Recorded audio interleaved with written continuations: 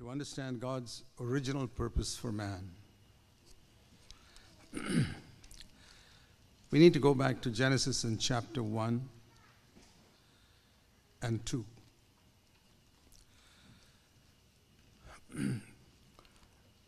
and ever since man slipped away from that purpose,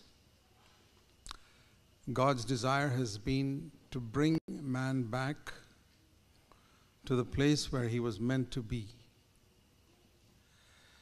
And that's not just overcoming sin. Because when Adam and Eve was create, were created, there was no question of sin. Sin wasn't even there in Genesis 1 and 2. We have spoken a lot about overcoming sin because that's such a problem for all of us. But we need to look higher than there if we want to understand God's purpose for us. So, what we see here was that on the sixth day, God made man in his image, as we read in Genesis 1:26.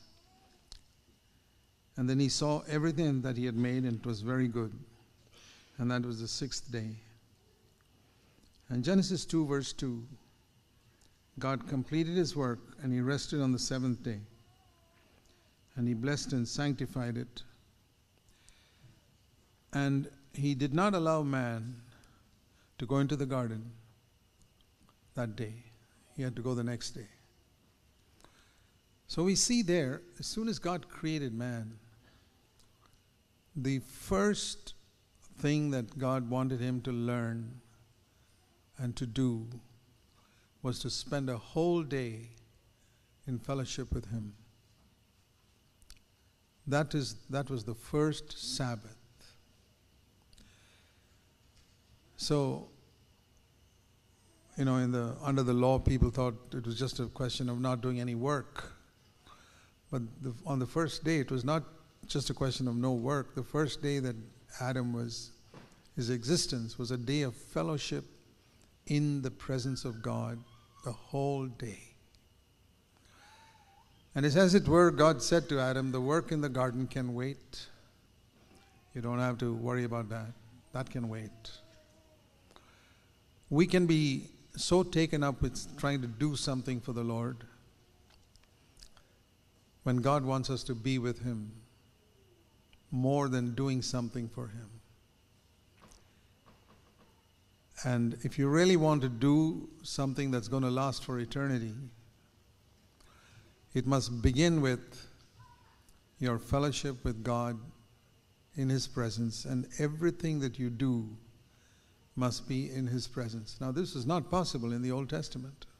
As soon as man sinned, he was cast out from the presence of God. It was not just that he became a sinner, he lost the presence of God. And Jesus came not just to forgive our sins and not just to give us power to overcome sin, not just to baptize us in the Holy Spirit, etc. It was to bring us back into the presence of God, just like on the first day man was created, that first Sabbath, and to enable us to live there every single day of our earthly life before we go to heaven and we enjoy His presence in fullness. Now, if we don't make that our goal, and you make something less than that your goal, like getting victory over sin or doing something for Him, you'll always find frustration. And that's the reason why a lot of people who seek victory over sin never get there. Because that's not God's final goal for you. His goal is that you might live in His presence. I want to show you a verse in Acts of the Apostles, chapter 2, when Peter was describing the earthly life of Jesus Christ. In his first sermon, what he said was concerning Jesus. He was preaching to this crowd of people on the day of Pentecost. And he says in Acts 2:22, "Men of Israel, Jesus the Nazarene, a man attested to you by God with miracles and wonders." And he says something about the life of Jesus here. In verse 25, I want you to listen to this. David says about Jesus, I was always beholding the Lord in my presence. And the last part of verse 28 Thou wilt make me full of gladness with thy presence. Jesus' life was one where he constantly lived in the presence of his Father. And the result was he was never disturbed by whatever happened around him. And so this passage in Acts 2 25 to 28 shows us how Jesus lived his earthly life. It wasn't just the miracles, he lived in the Father's presence, so he knew what to do at each particular time. He wasn't just going around doing miracles all the time. You know, once he went to the pool of Bethesda, and we read there in John 5, there was a great multitude of people there who were sick, blind, lame, deaf, all types of things. And he went there and he healed one person, one lame man, told him to take his bed and walk, and he came away. And there were hundreds of others just lying there and never healed any of them. How's that? Because Jesus didn't come here to heal the sick. He lived in the Father's presence and he did what the Father told him to do. And if the Father didn't tell him to do something, he just didn't do it. He wasn't in unrest that he couldn't heal somebody. He was never in unrest. And I want to say, dear brothers and sisters, that God's will is that we might come to this life of rest in God. I think of another instance where, you know, the story of Peter and John at the beautiful gate of the temple. There was a man sitting there asking for alms. Uh, for 40 years, he'd been sitting there. And I've often thought how Jesus must have passed by that gate so many times in his three and a half years with the greatest power of healing that any man ever had. He walked by that man, and when the man asked for money, Jesus did not heal him. He gave him money. He told Judas, Give him some money. He'd see him the next day. He'd ask for money. Jesus said, Give him money and he was sitting there lame. Because Jesus didn't come here to heal. He lived in the Father's presence, so he never made a mistake. If he had healed that person that day when he walked by, okay, it had, be, it would been one of the 1,000 miracles that he did. But because he did not heal him, three years later, when Peter saw him. And Peter said, Silver and gold I have none. In the name of Jesus, rise up and walk. We read in Acts chapter 4 5,000 people believed. That's why Jesus didn't heal him. If Jesus had healed him, there wouldn't have been those 5,000 people who believed when they saw him healed on that day. Do you see something there of, you know, of knowing when to do what God wants us to do? Very few believers understand this. They know what, what to do, but they don't know when God wants them to do it. They, they think they've just got to go around and do some good on this earth. No. Jesus said, I have come from heaven not to do my own will, not even to do good to humanity, but to do the will of my Father. The greatest thing that you can do for God on this earth is to do the will of your Heavenly Father. If you don't do that and you just go around doing a lot of good, you may discover when you stand before the judgment seat of Christ that you have wasted your life. Now, many people don't understand that. And that's why it's very, very important to learn how to live in the presence of God all the time. I've set the Lord always before me. That's what we read in Acts chapter 2. And because he was in the Father's presence every single day, he knew exactly what to do. And that's what was God's original purpose for Adam. I want you to be in my presence. But the thing is, when he went into the garden, he should have still lived in God's presence there, even when he went to the garden on the next day. But he didn't. And that's how sin came. So, as I said, Jesus has come not just to forgive our sin, not just to help us overcome sin, but to teach us to live in his presence every single day. And that is why we read about certain people who stand before him in the final day. It's an amazing statement, it's almost unbelievable that very few people believe this, but it is true. Jesus said in Matthew 7 22, Many will say to me in that final day, many means, what, what shall I say? A few million people?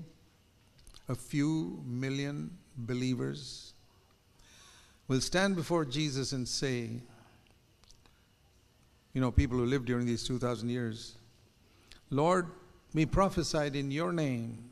He's talking, they're talking about ministry, what we did for the Lord. We prophesied in your name, we cast out demons in your name. We performed not one or two miracles, but many miracles in your name. And when you read that, think of the great, or not great, but well known evangelists that we read of who claim today on television and elsewhere to be doing miracles and, and uh, casting out demons and prophesying and astound many believers. I can imagine some of them standing there that day. And he said, The Lord says, I will declare to them, I never knew you. I'm not questioning that you did all this, but I, I never had this personal relationship with you You didn't live with me. You didn't live in my presence. You just went around doing a whole lot of things for me. And that's a question that we can ask ourselves whether the Lord will have to say that to us. Lord, I did this, I did this, and I went and did all the other things. And will He have to say, I never knew you, you never lived with me? The word know is an Old Testament word which is used in husband wife relationships. Adam knew his wife. It's, it's speaking of the most intimate relationship between a man and a woman. And here Jesus uses that word spiritually. I never knew you. You did a lot of things for me, but you didn't have that intimate relationship of living in my presence every day. Do you know that that's the thing that's going to matter in the final day? Not what you did for him, not the miracles you did, not the demons you cast out. Even that's not going to count. It's like having a maid in your house. A maid may do a lot of work in the house, or a servant can do a lot of work for you in the house, but she doesn't have that intimate relationship that the wife has with the husband, with the master of the house. It's something like that. There are a lot of people who are like, who are serve the Lord like maids in a house. They're not like the wife. They don't have that intimate relationship with Jesus. And it makes a lot of difference when we seek for this living in this intimate presence of, uh, in, intimately in the presence of God. I want to show you a verse in Hebrews in chapter 4 about something that God wants his people to have. Hebrews 4, it says in verse 9, There remains therefore a Sabbath rest. Now go back to Genesis 2, verse 1, and Adam living in God's presence. And it says here, there remains a Sabbath rest for God's people today. God wants his people to live in his presence exactly like Adam way back in the first day after he was created. And then, with that presence, to go out and serve him. That is how Jesus served him. Always dwelling in the Father's presence. That's why he knew whom to heal and whom not to heal, and when to do something and when not to do something. I've often thought about Jesus, you know, making chairs and benches and tables up to the age of 30 in the carpenter shop when there around him was a world dying in sin. Right there in Nazareth and all over were sinners and everywhere, and he knew the scriptures at the age of 12. But he never went out to preach. Why was that? I mean, would you sit making stools and benches if you knew the scriptures at the age of 12 for the next 18 years? We need to understand God's ways. He says, God says, My ways are not your ways. And the more we come to know God, the more we realize that a lot of things we think are very important are not so important to God. What He wants is for us to dwell in His presence and to recognize His presence all the time. And if you make that your goal, it'll make a tremendous difference in your life. For example, why do husbands and wives, despite all that they hear in the church services and in our meetings, still raise their voice at each other or get angry? I'll tell you. It's only one reason. The Lord, they don't recognize the Lord's presence there between them. Think if, when you're talking to your wife or husband, you recognize Jesus is right there between you. You think you raise your voice at your partner? Never. You think you'd glare at him or her? or what, what are the things that you would never do in your home if Jesus was physically present there? It's the presence of God that brings deliverance from anger. You can study all the theory of victory over sin, about being crucified and everything else, and still, I've seen this. I've seen for years people who heard all these things and try to reckon themselves dead and try to put their flesh to death, but they're still sinning. We need to recognize the presence of God. How can we? There's a Sabbath rest for God's people. And we need to enter into that Sabbath rest. That is what is written in Hebrews chapter 4. It says in chapter 4, verse 1 Let us fear, lest a promise of entering his rest. Go back to Genesis 2 1, Adam's first day. That promise is given to us to dwell in God's presence, and you come short of it. You come short of it because you're taken up with something else. You may be a little better than those other believers who say, Well, I'm just want to go to heaven when I die. And you probably pat yourself on the back that I'm not like those Christians who just want to go to heaven when I die. I want to do something for the Lord before I go. Well, I'll tell you what the Lord wants you to do for Him to live in His presence every single moment of your life, every single day. And you say, Is that possible?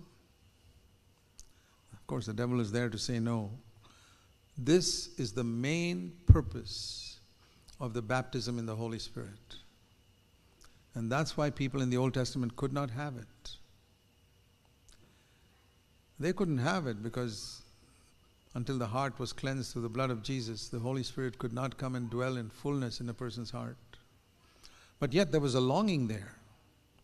Let me show you an Old Testament passage in Exodus and chapter 33. This is immediately after you read the last verse of Exodus 32 the Lord smote the people because of what they did with the calf which Aaron had made. They had come out of Egypt and they were worshiping this golden calf. And Moses had come down and smashed it. And the Lord said to Moses, He was so angry with the people that he said, Go, I will take you into that land Verse 2 I will send an angel before you, and I will drive out, Genesis, uh, sorry, Exodus 33 2. I will drive out the Canaanite, Amorite, Hittite, Perizzite, Hivite, and Jebusite. This is a picture of the Lord saying, I will drive out these sinful habits that you have. Those giants in Canaan are a picture of the sins that have ruled your life. Okay, picture them as Think of the sins that have ruled your life the Canaanite and the Hittite and the Amorite and the Perizzite. And the Lord says, I will drive them out. What more do you want? You got victory over sin. And not only that, I will send an angel. You know, today is a day when lots of people talk about angels. That somebody says in the meeting, I saw an angel when I was praying, and somebody says, I saw two angels. And then somebody else competes with them and says, I saw three angels. It's all over. I saw angels. I'll send an angel before you. And you'll go into this land flowing with milk and honey. But I, verse 3, I will not come with you. You see the difference? My presence won't be with you, the Lord says. I'll send an angel. You'll get victory. You'll have visions of angels. You'll have all this, but my presence won't be with you. And you know what Moses said?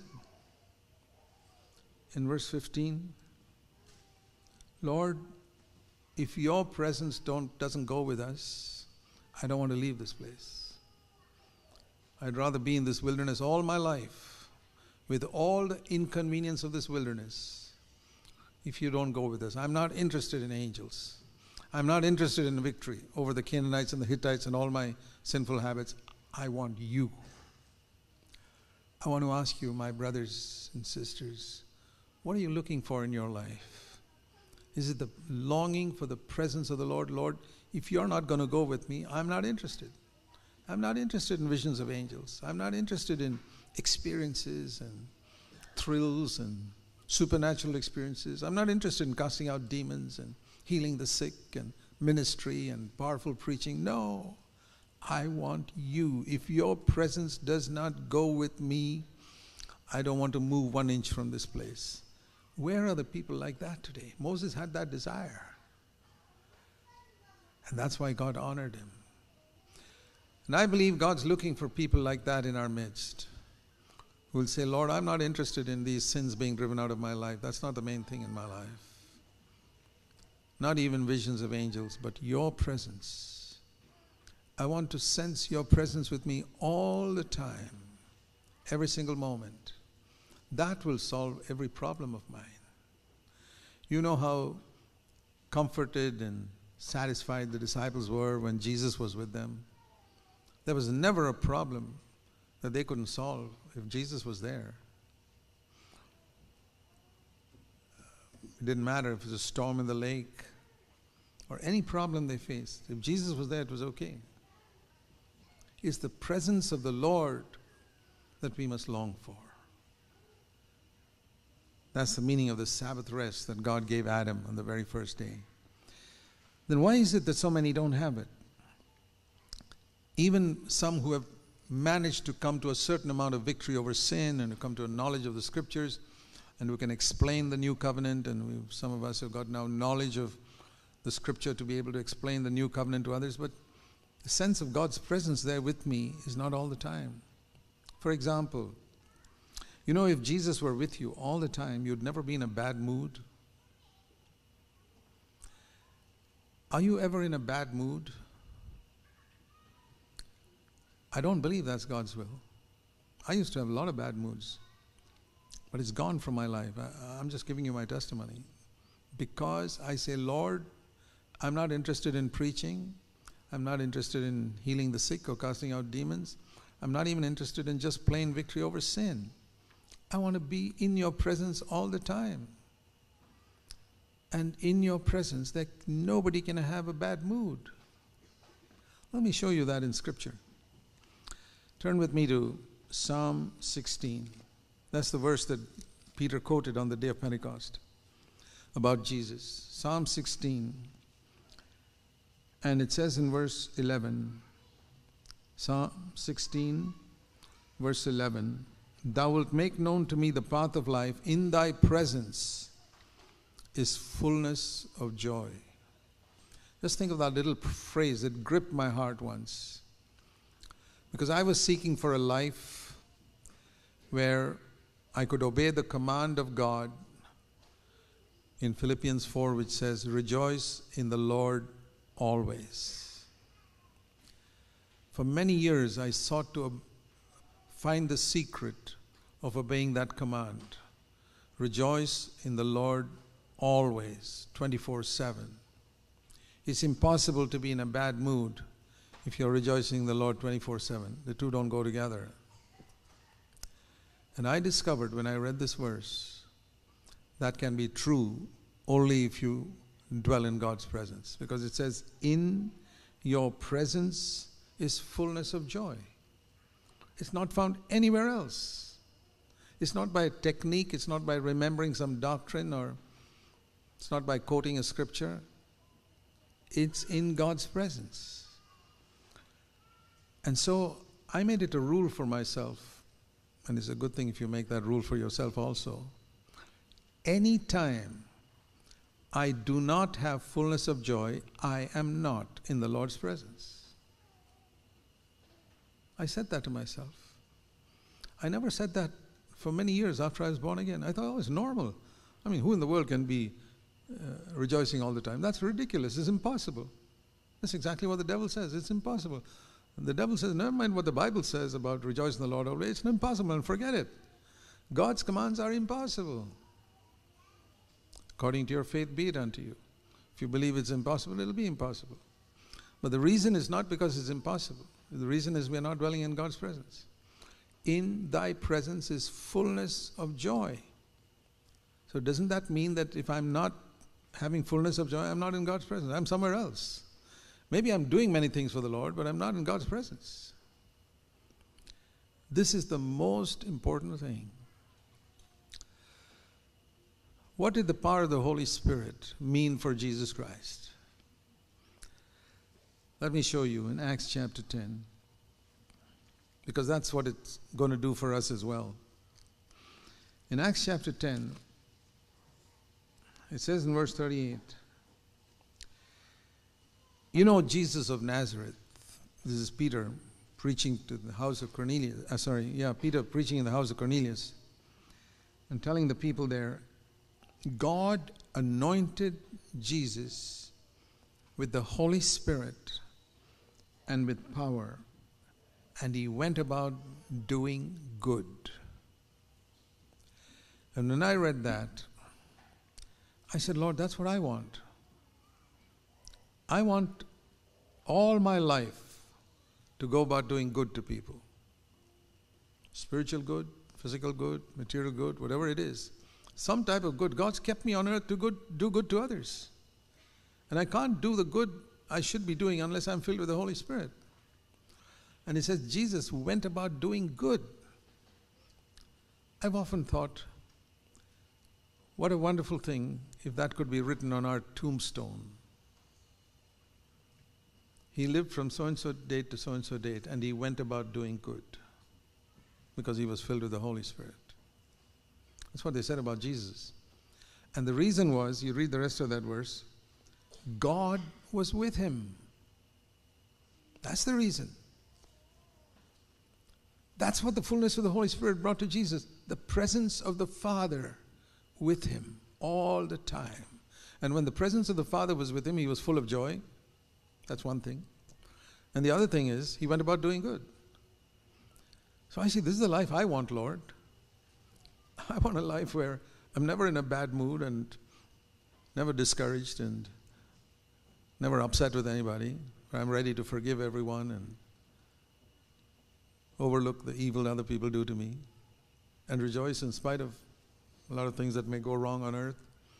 But that's possible only in God's presence. In His presence, there is fullness of joy. And when God is with me, like Jesus, I can go about doing good. The words I speak will do good to people, not just from the pulpit, even in ordinary conversation.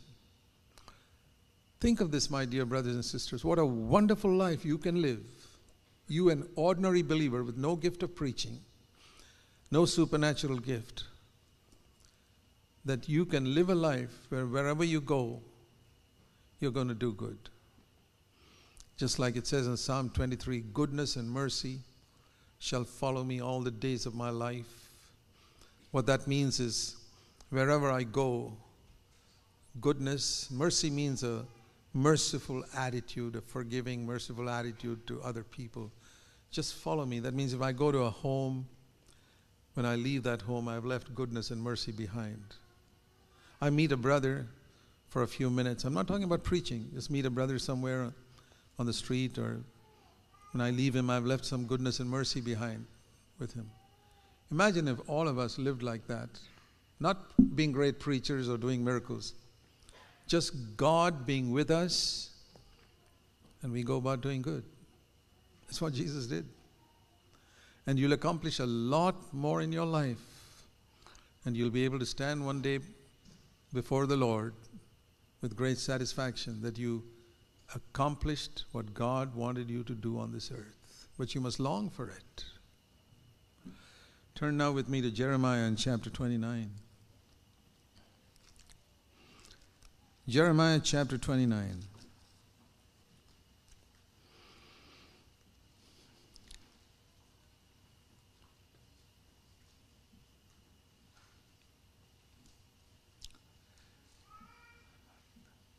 Verse 11 I know the plans I have for you, declares the Lord. These, these verses, 11 to 14, are a, a, beautiful, a beautiful promise that you can seek to apply to yourself. Jeremiah 29 plans to give you a welfare, not for calamity, to give you a future and a hope. And you will call upon me and come and pray to me, and I will listen to you and you will seek me and find me. Now we're thinking of seeking God's presence. Lord, I want to dwell in your presence every day, all the time. I want to be so filled with the Holy Spirit every day that I'm dwelling in your presence. How can I have this life? And the Lord says, You seek me, and you will find me when you search for me with all your heart when you're longing for this more than anything else, when you're longing not for the approval of men, not to make more money, not that your business might, might prosper, all that will, God will take care of, but that you might dwell in God's presence all the time. When you seek me with all your heart, when you're more interested in living in my presence, more than even victory over sin. That'll come if you dwell in my presence. Don't put the cart before the horse. I feel a lot of people do that. They're looking for a victory without the presence of the Lord. And they seem to grasp it, and then in a day or two it slips away. Why is that? You shall seek me, and you will find me when you seek for me with all your heart. That means when you say, Lord, with all of my heart, I want you. I want to dwell in your, dwell in your presence. When Jesus was in the house of Mary and Martha, you know the story how Martha was very busy in the kitchen, unselfishly, sacrificially cooking a meal, not for herself, but for Jesus and his 12 disciples. Now, what could be more wonderful than that? That as soon as Jesus and his disciples come, you go into the kitchen, and in the heat of that kitchen, you slog away trying to do something for the Lord. And Mary, as it were, sits lazily, just wanting to be in the presence of Jesus at that time, to look at his face and to hear him. And Martha thinks that Mary is just wasting her time, not coming to help her. And she comes to Jesus and says to the Lord in Luke chapter 10, Why don't you tell my sister to come and help me in the kitchen? I'm working all alone. And she thought, this is Luke 10, verse 41, she thought Jesus would rebuke Mary and say, What are you sitting here doing nothing? Go and help your sister. But this is quite different. The Lord says, My ways are not your ways. What you think is so important is not so important for me. Are you working for me? Are you sacrificing? Are you sweating it out somewhere in some kitchen or somewhere for me? And you think you're doing a great job for me, and you come to me expecting me to commend you, and the, I will say to you, You are worried and bothered about so many things. Verse 41. I'm not interested in what you're doing. Imagine a person who's sacrificially slogging away and serve, working hard, doing something for the Lord, and the Lord says, I'm not interested in what you're doing. There are many people who are going to face that in the final day when we stand before Jesus. Lord, I did miracles in your name. I did this, I did this. And the Lord says, I wasn't interested. Who asked you to do it? I didn't ask you to do it. You had your own bright ideas to go and do something for me. And with all your activity, you brought a lot of confusion into my work. But see what Mary has done. She wants to be with me. And she has chosen the good part. Verse 42 and it will not be taken away from her. Does that mean that Mary doesn't serve? You read later on in the next chapter how she brought a expensive bottle of ointment and poured it and that was a picture of service, but it began with being in the presence of the Lord. So this has come home to me more and more when I've looked around and seen through many years now we have preached victory over sin. We preached about the new covenant. And many of you have heard it and understood it so well that you can even preach it to others. But you're still defeated in your life, especially in your home life. And I've seen that. I've seen people frustrated, discouraged, and we can imagine, oh, we're better than some other churches because we are preaching some doctrines that are higher than theirs. But what about your life? If our life is not of a higher quality than other people's lives and we're just glorying in certain frills and here and there that we are better than others, that's not what God wants. He wants us to long for Him personally. He will seek me and find me when you search for me with all the heart. That's what the Lord tells people in the final day. You did so many things. I agree. You cast out demons, you did this and that, but you never knew me. You had no time for me. You know, it's like a husband or a wife, or so. Uh, think of a husband, for example, who works hard the whole day, earning money for the home, but he has no time to spend with his wife. Or a wife who's working so hard in the kitchen, doing so many things for the husband, but she's not interested in spending time with the husband. That's how a lot of people who are in Christian work are. And those are the people whom the Lord will say, Depart from me. You are not interested in spending time with me on earth. You are interested in doing this, that, and the other. Depart from me. I don't know you.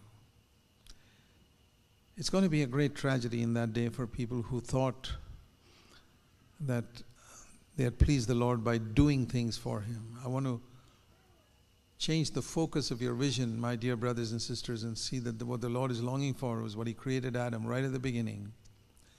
He did not send him out to work as soon as he was created. On the very first day after he was created, the Lord said to him, This is a Sabbath day. I want you to come and live in my presence. I want you to spend the whole day with me. And then you can go and work for me. And if you're not going to live in my presence, then I'm not interested in the work you do for me. That's the lesson that we need to learn. Let's bow our heads in prayer.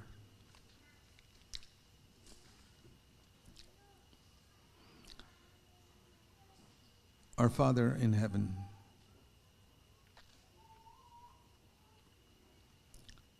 I pray that the few words we have heard will form a deep impression on us. That we can enter into this Sabbath rest where nothing will shake us like nothing shook you throughout your earthly life. You say you have said to us, Come to me, all of you who are weary and heavy laden I will give you rest. We want to enter into that rest, Lord. In Jesus' name, Amen.